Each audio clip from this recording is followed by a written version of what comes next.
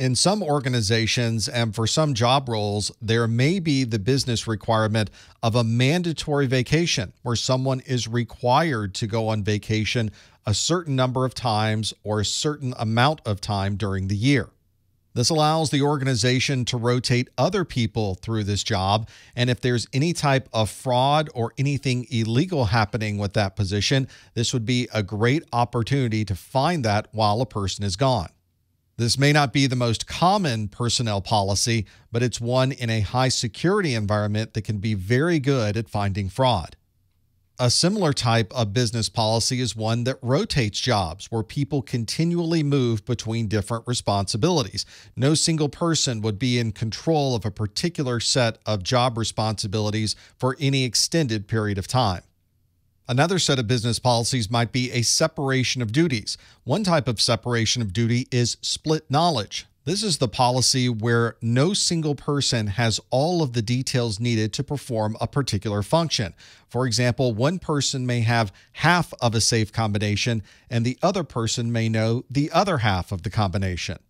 This is very similar to dual control. With dual control, both people must be present to be able to perform that particular function. Instead of just telling someone what your half of the combination is, you have to show up with the key, and both keys have to be used at the same time to open the safe. Another popular and useful security policy is a clean desk policy. This means that when you leave your desk, nothing is on top of your desk. There's no paperwork, your computer is not turned on, no one can see any data once you leave that desk. For environments that deal with sensitive data that are highly secure, this is a business policy that can be very effective. Many organizations will perform a pre employment screening or a background check. This gives the organization an opportunity to verify what the applicant has put on their application. Many background checks can find criminal history information, can discover where workers have compensation claims pending, and it might be able to provide a little more detail than what is written on an application. The legalities on exactly what someone can do with a background check vary by country, so make sure you follow the legal requirements for your particular geography. An adverse action is something that denies someone an employment, and it's usually based on this background check.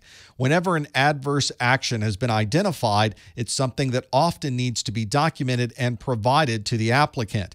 This is also something organizations can commonly do with existing employees as well. And again, the legal requirements will vary depending on your geography. Every organization has information that is company confidential. In order to maintain that confidentiality, an organization may require employees and third parties to sign a non disclosure agreement or an NDA. The non disclosure agreement is a legal contract that identifies what information is confidential and it limits the use and dissemination of that information. Another important security procedure is done during the onboarding process when new employees join the organization. There's usually an induction or training process so that people can be trained on exactly what the proper IT security is for their particular role.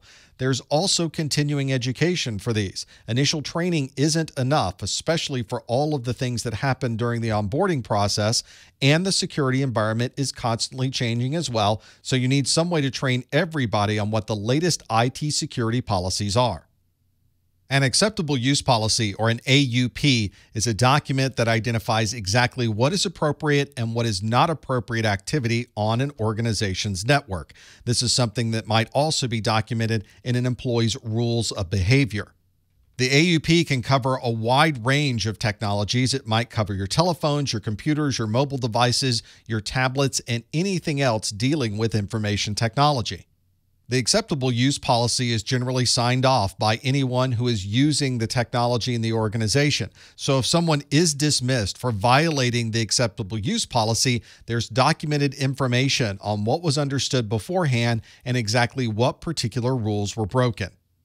One common tool used by human resources is the exit interview. If an employee is leaving the organization, this is an opportunity to ask a few questions before they leave. For example, you could ask someone what their reasons were for leaving and what the things were that they enjoyed the most or least about their time employed with the organization.